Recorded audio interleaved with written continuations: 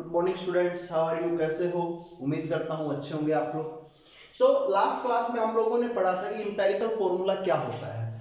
तो आज की क्लास जो हमारी रहेगी, वो इंपेरिकल फॉर्मूला की कैलकुलेशन पे रहेगी कि how we can calculate the empirical formula if we have given percentage अगर मुझे किसी भी एलिमेंट की परसेंटेज दी हुई है कि कितना परसेंटेज वो प्रेजेंट है तो आप लोग उसका इंपेरिकल फॉर्मूला कैलकुलेट कैसे करोगे? हम लोगों ने लास्ट क्लास में परसेंटेज कैलकुलेट करना भी सीखा था मास परसेंटेज कैसे कैलकुलेट करते हैं। आज का जो हमारा टॉपिक रहेगा वो इंपेरिकल फॉर्मूला को कैलकुलेट करना रहेगा कि how we can calculate the empirical formula जरा देखिए।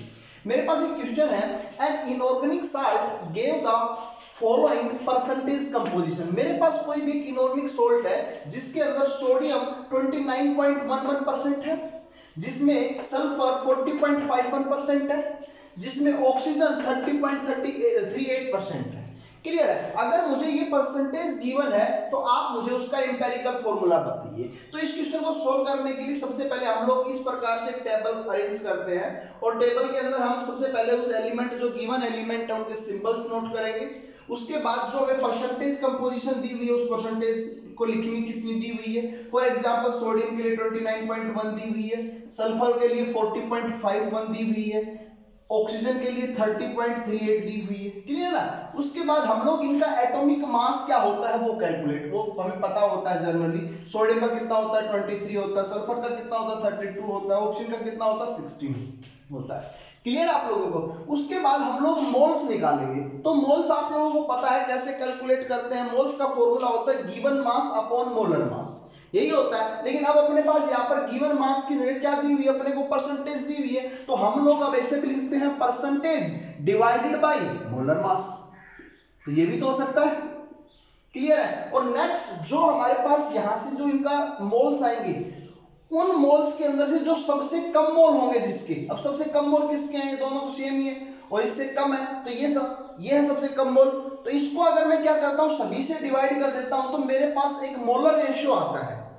क्लियर लेकिन ये मोलर रेशियो सिंपलेस्ट फॉर्म में है। मतलब आप लोग देखोगे यहाँ पर कोई पॉइंट की फॉर्म में है। लेकिन मुझे क्या चाहिए? ये जो मोलर रेशियो चाहिए ना, ये होल नंबर में चाहिए। तो मैं किसी ऐसे नंबर से इसको मल्टीप्लाई करता हूँ कि ये तीनों रेशियोज हमारे क्या आ जाए? होल नंबर में आ जाते हैं। क्लियर आप लोगों को? तो वो हम देखते हैं। तो सबसे पहले मैंने क्या किया? सबसे पहला एलिमेंट सोडियम लिया, दूसरा फिर सल्फ़र लिया, तीसरा फिर कौन लिया? ऑक्सीजन लिया। क्लियर आप लोगों को? इनका मास परसेंटेज हमें दिया हुआ है, ये इनका मास परसेंटेज है। एटॉमिक मास मुझे पता था, ये मैंने एटॉमिक मास रखा। मैंने क्या किया? मोल्स निकालने थे तो मोल्स के लिए मैंने क्या कहा परसेंटेज अपॉन मोलर मास रख सकते हैं हम लोग। तो परसेंटेज कितनी थी? 29.11 29.11 डिवाइडेड बाय एटॉमिक मास 23 40.51 दे रखी है किसकी सल्फ़र की अपॉन 32 30.38 दे रखी है किसकी? ऑक्सीजन की डिवाइडेड बाय 16 तो जब इनको सोल्व करेंगे तो मेरे पास ये मोल्स आएँगे। अब इन मोल्स के अंदर सबसे छोटा कौन सा है? कोई भी ले लो दोनों सेम ही है। तो उससे मैं क्या करूँगा? डिवाइड करूँगा। तो इसको भी 1.266 अपॉन 1.266 से डिवाइड करूँगा। इसको भी 1.266 अपॉन 1.266 से डिवाइड करूँगा। इसको 1.897 को 1.266 से डिवाइड करूँगा। तो डिवाइड करने पर मेरे पास ये रिज़ल्ट आता है। क्लियर आप लोगों को? और इस रिज़ल्ट को फिर मैं किसमें कन्वर्ट करता हूँ? सिंपल होल नंबर रेशियो के अंदर। तो कैसे कैलकुलेट करेंगे? अगर मैं इन सभी को टू से मल्टीप्लाई कर देता हूँ तो मेरे पास क्या आएगा? सिंपलेस्ट होल नंबर रेशियो आएगा। क्लियर है और जब मुझे पता चलेगा सोडियम का कितना है रेशियो टू सल्फ़र का कितना है टू ऑक्सीजन का कितना आया? थ्री क्लियर है इस प्रकार से हम कह सकते हैं कि ये जो फॉर्मूला बनेगा Na2S2O3 is an empirical formula of given percentage composition ये जो परसेंटेज कंपोजिशन दी हुई है, इस बेस पे इसका इंपेरिकल फॉर्मूला ये वाला। क्लियर आप लोगों को? और जनरल इंपेरिकल फॉर्मूला मैंने कल की क्लास में भी आप लोगों को बताया था क्या एक्सप्लेन करता है? It explain only the ratio of element at atom in given compound so हम लोग एक क्वेश्चन और कर लेते इसी के ऊपर बेसिक फिर हम लोग देखते हैं आगे की तरफ़। तो आप लोगों को ये चीज़ समझ में आई ना? तो so this one is the next question क्या है क्वेश्चन जरा देखिए। 2.746 gram of a compound gave on analysis एक टोटल कंपाउंड है जिसका वेट है 2.746 ग्राम क्लियर है? जब मैंने उसका एनालिसिस किया तो मैंने देखा कि 1.94 ग्राम ये तो हमारे पास क्या है? सिल्वर है। और 0.268 ग्राम ये मेरे पास क्या है? सल्फ़र है। क्लियर है? और दूसरा है 0.538 ग्राम ये मेरे पास क्या है? ऑक्सीजन है.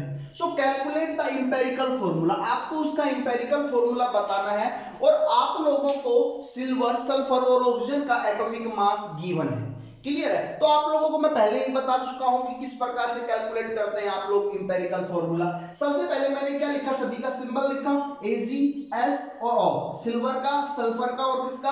ऑक्सीजन का सिंबल लिखा। उसके बाद आप लोगों ने देखा कि यहाँ पर अब की बार आपको मास परसेंटेज ना देकर ओनली मास दिया गया है इन ग्राम्स क्लियर है? तो सिल्वर का मास कितना गया है? 1.94 ग्राम सल्फ़र का 0.268 ग्राम और ऑक्सीजन का 0.538 ग्राम क्लियर आप लोगों को? तो ये मास अब एटॉमिक मास इसका कितना होता है? गिवन आप लोगों को 108 ग्राम ठीक है? यहाँ पर 32 और ऑक्सीजन का आपको पता है कितना होता है? 16 अब मैंने क्या किया? मोल्स निकाले। तो मोल्स आपको पता है गिवन मास अपॉन किससे निकालेंगे? मोलर मास से। तो मेरे पास जब मैंने कैलकुलेट किया तो ये क्या है मेरे पास? बताओ भाई। मोल्स आ गए।